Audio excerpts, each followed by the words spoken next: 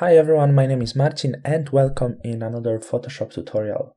In this episode I'm going to show you my final adjustments for beauty retouch, uh, but it can be for every kind of retouch. If you're not doing beauty retouch, it's okay. If you don't want to do retouch but you want to improve your portrait image, these adjustments I'm going to show you in this episode will be absolutely useful for you. If you want to create some really natural and beautiful effect, that's the best way how to do this. And some time ago, I was using a bit more things, but recently I fall in love with selective colors and I do really huge amount of work using selective colors in Photoshop because I believe it's super powerful and it can replace many other adjustments and it gives absolutely fantastic results. So let's start with it. Like, look at the image, it's actually the final result of um, the retouch I've done and the course, the premium course is available with 81% discount. So if you want to know some details, just check in the description. There is a coupon code for you and you can get this course. It's six hours course. and I recommend, really amazing. But in this episode, I'm going to show you final adjustment I did in just part of this premium course. So what I'm going to do, I'm going to selective color at first, and I'm going to zoom this image a little bit. So what you can see, we have some of the red colors here. So I'm going to start to work with red. And what I do, I'm usually looking what fits the best for me.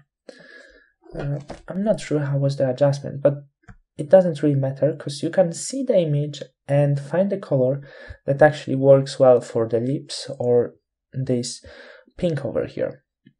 I'm going to try with magenta. So I like, I think I like when I take it a little bit down or I'm going to see like that. So I like the color I've got, maybe a bit more red and then I'm going to go with yellow. So have a look how this image looks like. And the thing you can notice, it's a bit warmer. And the pink on the uh, face is a bit warmer, so I kind of like this adjustment. So that's the first step. So okay. So as we have layer mask over here, I'm going to invert the color on the layer mask. And I'm going to paint over it. Flow very strong because I only want to paint over lips if you want to know how does it look like. Not yet because of course I didn't have white color. When we have layer mask with color black we have to paint over with color white. So that is carefully but don't worry you won't do many mistakes because the thing is we don't have any red colors around. So have a look how that looks like. It doesn't have to be perfect I just paint over the lips and a bit more visible the same thing, but this time I'm going to pull down the flow into a bit soften, make big sized brush. Have the half hard edged brush, so it's okay. I'm just going to paint over a little bit here. Not too much, as you can see, and there is already difference we can notice. It's a bit warmer. We got this nice red color up. So that's the first step I'm doing and then we can have a look once again on the image. I probably want to sort out a little bit of the colors over here. So let's go into selective color once again, and I'm going with natural color. So when we see natural colors, now zoom this a bit more, open selective color, and let's have a look how does it work for us.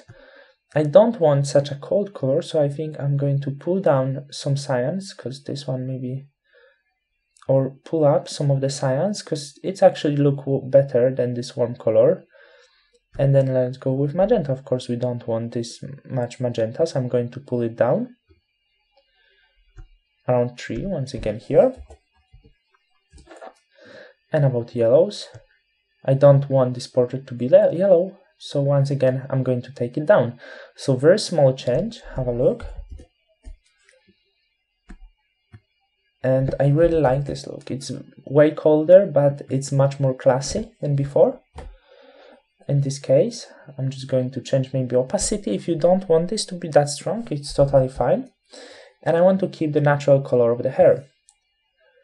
One thing is, if we can do this, when I go into the yellows, I want to see if I can pull up some of the yellow color. So I can do this a little bit, and I want to sort it out. Let's have a look. No, I don't really think it will work that well. So I'm going to stay with zero and just paint over here with the color black on the hair because we don't want to change the hair color. So it's all about adjusting the colors. So you can actually see how really useful selective color is. I'm just going to paint over here. And we got this nice color of the face, a bit colder.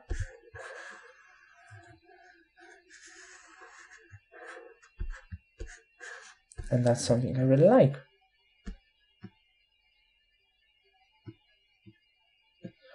The other one, I'm just going to create selective color once again.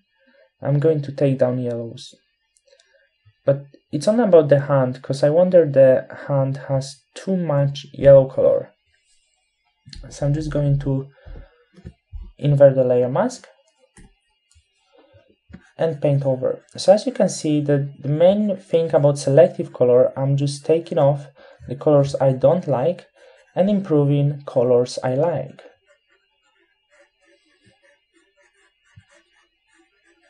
So okay.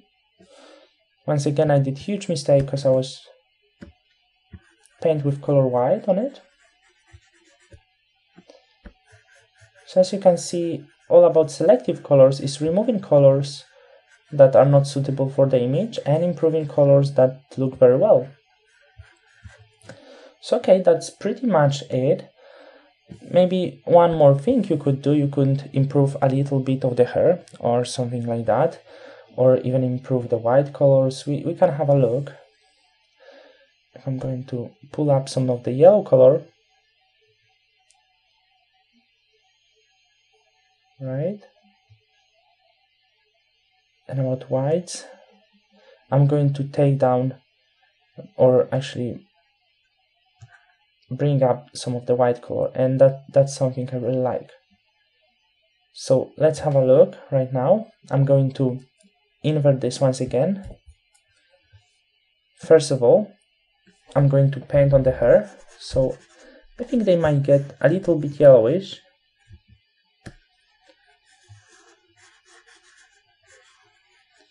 And the other thing I'm going to do with this soft brush, I'm going to paint over here. I think this area just, it's nice if it will be a bit whitened.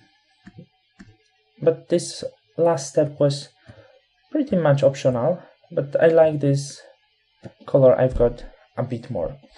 All of this I'm going to put into the group, Control Command G, selective color, that's how I'm going to call this. And the next step I'm doing in my final adjustments is working with curves. So there's a few things that curves actually help me with. First, the thing that curves helps me with and selective colors actually helps me with it as well if we're going to work with the white color a little bit, we can improve some of the shadows over here. It's really great to work with curves as well. And first of all, sort out some of the contrasts. I add a bit strong contrast, but doesn't matter because we actually can take down some of the opacity. And that's actually a different story right now. When we take down opacity, this image start to look very nice. So I'm going to stay with 30%. It looks very suitable. The shadows are a bit stronger. Of course, in selective color, you can always try with color blacks and pull them on. As you can see, they can give you some really nice colors, but you have to be really careful to not destroy this, to not go too far. You can try with whites, and with whites, of course, you can always try to pull up some of the whites of the image. So there's always an option. It might be too strong, so I'm going to take it down. Next step about curves is you can do a little bit of the color correction. The thing I don't like, I think this contrast just did too much to my hair. So once again, I'm just going to clean up the hair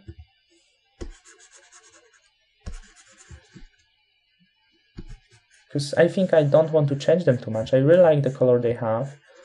So next step with the curves.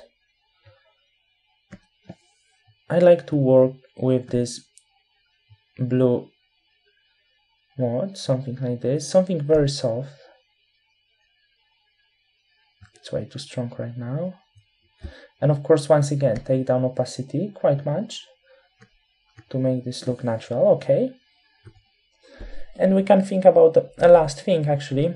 If you can find some of the spots that could be whitened or something like that, you can create a curve layer. It's always optional, like if you don't do enough job for dodge and burn or something like that, you can just pull up some curve, Control Command I to invert this, and with very soft brush and really low flow, color white, of course, as I inverted this right now, you can paint over a little bit. Just a bit over here to bring up some of the white color. You can do a little bit on the face to bring up some of the white color. So that's actually how I do work with my final adjustments. I don't do anything complicated. As you can see, I'm using just, it's okay to use, you can use more, of course, but it's totally okay if you're going to use just few basic things. So I'm going to put this to the group and these two groups into other group just to show you what's the difference. It will be very soft different. That's before and that's after. We at the end we got more contrast, we got more shadows, really nice white colors. If you think it's a bit too strong, just take down opacity.